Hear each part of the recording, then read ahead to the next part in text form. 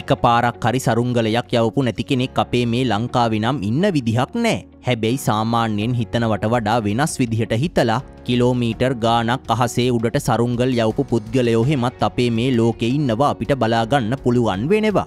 අන්න ඒ විදිහට අද මේ වීඩියෝ එකෙන් අපි එහෙම මේ ලෝකෙ වැඩිම උසකට සරුංගලයක් යවපු පුද්ගලයගේ ඉඳන් තවත් මීට කලින් ඔබ දැකලා තිබුණේ නැති දේවල් රාශියක් ගැන අපි කතා කරමු.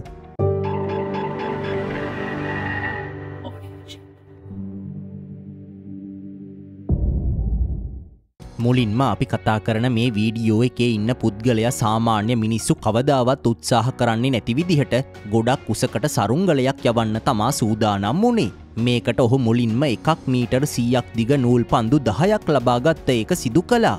එහෙම බලනකොට මුලින්ම ඔහු කිලෝමීටරයක් උසට සරුංගලයක් යවන එක තමා තමන්ගේ අරමුණ බවට පත්කරගෙන තිබුණේ. මේකට මුලින්ම ඔහු පොඩි සරුංගලයක් අරගෙන ඇවිල්ල තමන්ගේ ගෝප්‍රෝ කැමරාව ඒ සරුංගලයට සවි කරලා මේක අහසට යවන්න උත්සාහ කළත් කැමරාවේ බර නිසා ඔහුගේ වැඩේ සාර්ථක වුණේ නෑ. අන්න ඒ නිසා ඔහු සරුංගල් කිහිපයක්ම එක්ක කැමරාව හසට යවන්න පුළුවන්ද කියලා පරීක්ෂා කරලා බලලා තමා අන්තිමේට ගොඩක් විශාල සරුංගලයක් මේ වෙනුවෙන් තෝරගත්ත එක සිදු කළේ. ඊට පස්සේ ඔහු සරුංගලයේ ඉඳලා පොළව පටිගත කරන්නත් සරුංගලයේ ඉහළ කොටස පටිගත කරන්නත් වෙන වෙනම කැමරා දෙකක් මේ විශාල සරුංගලයේ බැඳලා ඒ දෙකම අර සරුංගලයට ඔසවන්න පුළුවන්ද කියලා පරීක්ෂා කරපු එක සිදු කළා. එතකොට මේ විශාල සරුංගලය කිසි ප්‍රශ්නයක් නැතුව මේ කැමරා දෙකම අරගෙන අහසට ගියපු නිසා ඔහු තමන්ගේ මේ අපූරු මෙහෙයුමේ ඊළඟ පියවර වෙනුවෙන් ගමන් කරපු එකයි සිදු කළේ. මේ විදිහට කිලෝමීටරයක් උසට සරුංගලය එක දිගට හසට යවනකොට අනිවාරෙන්ම අපි නූල එක දිගටම මේ සරුංගලයට ලබා දෙන්න ඕන කියල ඔබට පැහැදිලි වෙනව ඇති.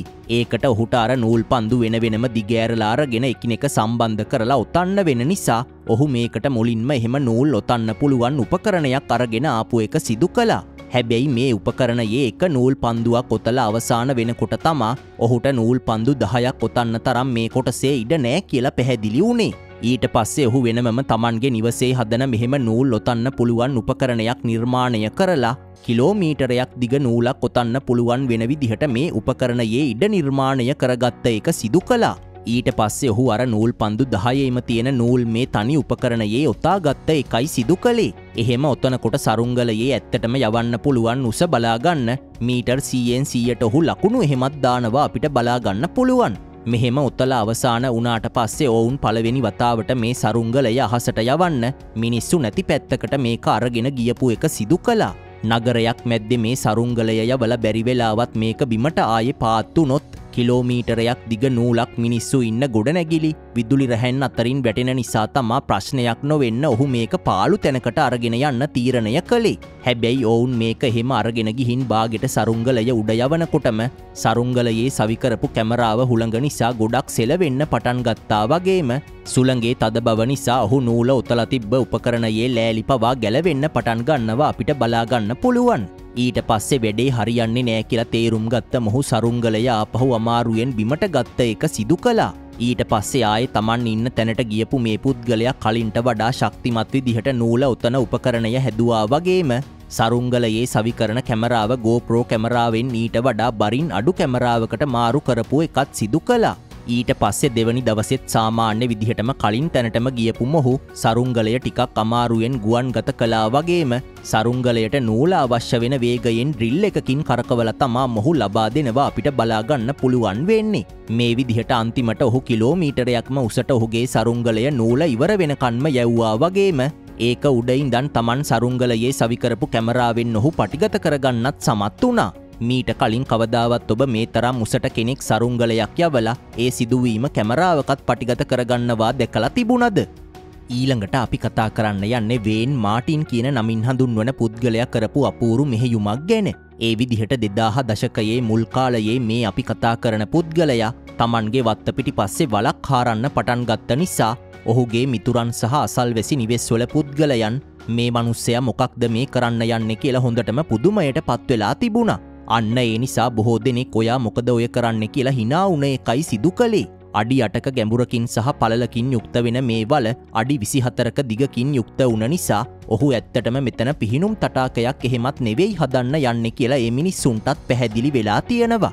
ඒකට හේතුව වෙන්නේ පිහිනුම් තටාකයක් නිර්මාණය කරන්න තරම් මේ ඉඩකඩ දිග පලලාතින් ප්‍රමාණවත් වෙන්නේ නැති නිසයි. ඒවගේම ඔහු මේ වල හාරලා අවසාන වනාට පස්සේ සෙන්ටිමීටර් පහළවක් ගණකමට ආපහු සැහැල්ලු පස්සහ ග්‍රෙවල් මේ වල ඇතුළට දාලා අතුරපු නිසා කොහොමටවත්ම ඔහු මෙතන පිහිනුම් තටාකයක් නන් නෙවෙයි හදන්න යන්න කියලා හැමෝටම තහවුරු වෙලා තියෙනවා. අන්න ඒ නිසා මේ පුද්ගලයා මෙහෙම වලක්කාරලා නිධානයක්වත් හොයනවාද කියලා තමා ගොඩක් අයට හිතිලා තිබුණේ. හැබැයි තවත් මොහුගේ මේ වලහාරණ ක්‍රියාවලිය කුතුහලයක් බවට පත් කරලා ඔහු අතෑරලද අපපු කන්ටේනර් පෙට්ටියක් එහෙමත් වරායකට ගිහින් මිලට අරගෙන තියෙනවා.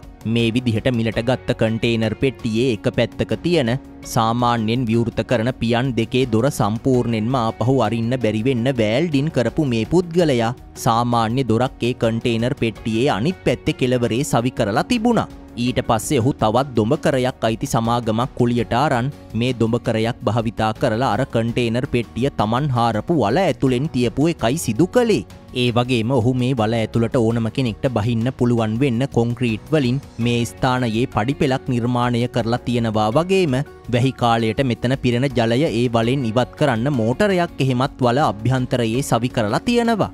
ඊට පස්සේ ඔහු මේ කන්ටේනර් පෙට්ටියට ඉහලින් වගේම පොළවටත් සම්බන්ධ වෙන විදිහට ගොඩක් ගණකම කම්බි තට්ටුවක් අතුරලා ඊට උඩින් යකඩ තහඩු පවා අතුරපු එක සිදු කලා.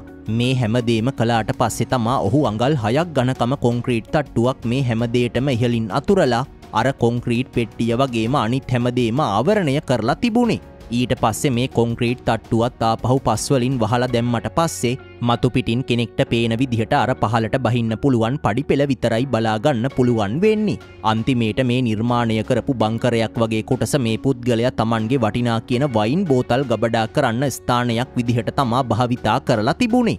අපි හැමෝටමත් පොඩිකාලෙ පොළව යට බංකරයක් හදන්න ආසාාවක් තිබුණේ එක මේ පුද්ගලයා වැඩි මහල් අවදියට පත්වනාට පස්සේ ඇත්තටම සැබෑ කරගෙන තියෙනවා කියල ඔබට පැහැදිලි වෙනව ඇති. අන්න ඒ හේතුව නිසා තමා මේ පුද්ගලයවත් අපිට අපූරු නිර්මාණයක් සිදුකරපු කෙනෙක් විදිහට හඳුන්වන්න පුළුවන් වෙන්නේ. ඊළඟට අපි කතා කරන්නේ ඇමරිකාවේ ටෙක්සාස් ප්‍රාන්තයේ පුද්ගලයෙක් සිදුකරපු තවත් අපූරු වැඩක් ගැන.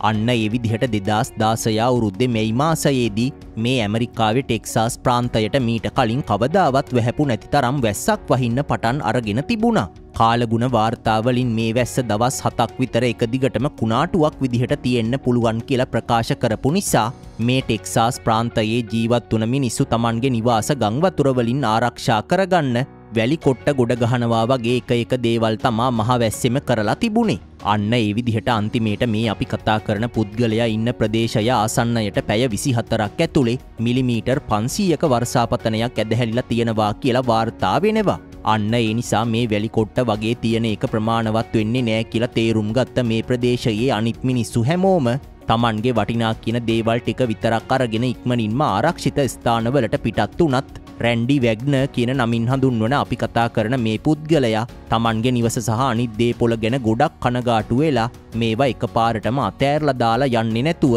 බේරගන්න පුළුවන් විදිහක් ගැන සැලසුම් හදන්න පටන් අරගෙන තියෙනවා. ඊට පස්සේ ඔහු විසඳුමක් හොයාගන්න අන්තර්ජාලය පුරාම සැරිසරණ ගමන් ඉන්නකොට තමා එක්තරා සමාගමක් ඇක්වඩයම් කියන නමින් හඳුන්වන තාවකාලික තාප විශේෂයක් ලෝකයට හඳුන්වල දීලා තියෙනවා කියලා ඔහු දැනගෙන තිබුණේ. අපිට ආරක්ෂා කරන්න ඕන භූමිය වටේට මේ තාප්ප යෙදුවට පස්සේ අපිට මේවා අභ්‍යන්තරයට ජලය පුරවලා උස බැම්මක් නිර්මාණය කරන්න විතරයි අවශ්‍ය වෙන්නේ. එහෙම බලනකොට මේ පුද්ගලයාගේ අවශ්‍යතාවය වෙනුවෙන් හරියටම මේ උපකරන ගැලපුනත් මීට කලින් කවදාවත් කවුරුත් මෙහෙම දෙයක් භාවිතා කරලා තියෙනවා කියලා ඔහු අහලා තිබුණේ නැති නිසා ඇත්තටම මේ උපකරණය වැඩ කරයිද කියලා ලොකු ප්‍රශ්නයක් මේ පුද්ගලයට ඇති වෙලා තියෙනවා. හැබැයි මේ ගැන දෙපාරක් හිතන්නේ නැතුව ඒ උපකරණය ගැන විශ්වාස කරපු මේ පුද්ගලයා අඩි හාරසිය පණහක් දිගවගේම සෙන්ටිමීටර් හැත්ත හයක විශ්කම්භයක් තියෙන මේ තාවකාලික තාප්පයක් මිලට අරන් මේක තමන්ගේ නිවස වටේ යවපු එක සිදු කලා. මේක කරන්න ඔහුට ඒ කාලේ ඇමරිකානුඩුල රටදස් තුන්සීයක් වගේ මුදලක් වැය වෙලා තියෙනවා කියලා වාර්තා වෙනවා. ඒ වගේම ඔහු ගොඩක් දුර ගෙවාගෙන ගිහින් කිලෝග්‍රෑම් තුන්සිය පණහක් විතර බර මේ සම්පූර්ණ තාවකාලික තාප්පයම කුණාටුව තමන්ගේ නිවසාසන්න ප්‍රදේශයට එන්න කලින් අරගෙන එන්න සමත් වනා. ඊට පස්සේ ඔවුන් ඉක්මනින්ම කුණාටුව ඔවුන්ගේ ආසන්නයටම එනකොට වතුර පොම්ප දෙකක් භාවිතා කරලා අර තාවකාලික තාප්පය ඇතුළට ජලය පුරවපු එකයි සිදු කළේ. හැබැයි මේ පුද්ගලයා මේ වැඩේ කරගෙන යනකොට ප්‍රදේශය අතෑරලා දාලා තමන්ගේ ආරක්ෂාවට මෙතනින් පිටත් වෙන ගමන් හිටපු මේ පුද්ගලයාගේ අසල්වැසියන් නම් ඕක හරියන වැඩක් නෙවෙයි කියලා මේ පුද්ගලයට හිනා වෙලත් තියෙනවා කියලා වාර්තා වෙනවා. කොහොම හරි අන්තිමේට මේ කුණාටුව ඇවිල්ල අවසාන වනාට පස්සේ ඒ ආසන්න ප්‍රදේශවල ගංගාවල ජලය වැඩි වෙලා මුළු පැත්ත පලාතම යට වෙලා ගියත් මේ පුද්ගලයාගේ නිවසවිතරක් පොඩ්ඩක්වත් ජලයෙන් යට වනේ නෑ. මේක ප්‍රවෘති වාර්තා කරන මිනිස්සු ගුවන් මගින් ලබාගත්ත සමහර දර්ශනවලින් අපිටත් බලාගන්න පුළුවන් වෙනවා. ඒ විදිහට අඩි තුනකට වඩා උස ජලකඳක් ගංවතුර විදිහට ඇවිල්ල තිබුණත් කිසි ප්‍රශ්නයක් නැතුව මේ පුද්ගලයාගේ ඒ තාවකාලික බැම්මට අර හැමදේම දරාගෙන ඉන්න පුළුවන් වෙලා තියෙනවා. මේ තාප්පය නිර්මාණය කරන්න මේ පුද්ගලයට ඩොලර් අටදස් තුන්සීයක මුදලක් වැයවුනත් ඇත්තටම ගංවතුර නිසා ඔහුට පාඩුවක් උනේ නැති නිසා ඩොලර් එක් ලක්ෂ පනස්දාහක් විතර ඔහුට ඉතුරු කරගන්න පුළුවන් උනා කියලා ඔහු ප්‍රකාශ කරලා තිබුණා. අන්න ඒ හේතුව නිසා තමා මේකත් අපිට තවත් පුද්ගලයෙක් සිදු කරපු මීට කලින් කවදාවත් ඔබ දැකල නැති අපූරු දෙයක් විදිහට හඳුන්වන්න පුළුවන් වෙන්නේ. අද මේ වීඩියෝ එකෙන් අපි කතා කළේ මේ ලෝකෙ වැඩිම උසකට සරුංගලයක් නිර්මාණය කරලා යවපු පුද්ගලයා ගැන වගේම තවත් අපූරු නිර්මාණ සිදුකරපු මිනිස්සු රාශියක් ගැන. සාමාන්‍යයෙන් ගොඩක් හුලන් තියෙන වෙලාවට ඩ්‍රෝන් යානයක්වත් කිලෝමීටරයක් විතර ඉහළහසට යවන්න බැරි එකේ මේ පුද්ගලය ඇත්තටම ගොඩක් අපූරු දෙයක් තමා සරුංගලයක් එහෙම යවල කරන්න සමත්තුනේ කියලා ඔබට පැහැදිලි වෙන්න ඇති. අන්න ඒ විදිහට අද මේ වීඩියෝ එකෙන් අපි කතා කරපු මේ ලෝකෙ වැඩිම උසකට සරුංගලයක් නිර්මාණය කරලා යව පුද්ගලයා ගැන වගේම තවත් අපූරු නිර්මාණ සිදුකරපු මිනිස්සු රාශියක් අතරින් වැඩියෙන්ම ඔබ පුදුම වුණේ මොන පුද්ගලයා කරපු අපූරු දේ දැකලද කියලා පහලින් අපිට කමෙන්ට් කරලා කියන්න. ඒ වගේම මේ වීඩියෝ එක හොඳයි නම් දැනුමක් ලැබුණ කියලා හිතනවනම් වීඩියෝ එකට ලයික් කරන්න කමෙන්ට් කරන්න වගේම ෂෙයා කරලා අපිට සහයෝගයක් දෙන්න අමතක කරන්න එපා. මේ වගේම දැනුමගේන තවත් අලුත්ම වීඩියෝ එකකින් අපි ඉක්මනට මුණගැහෙමු.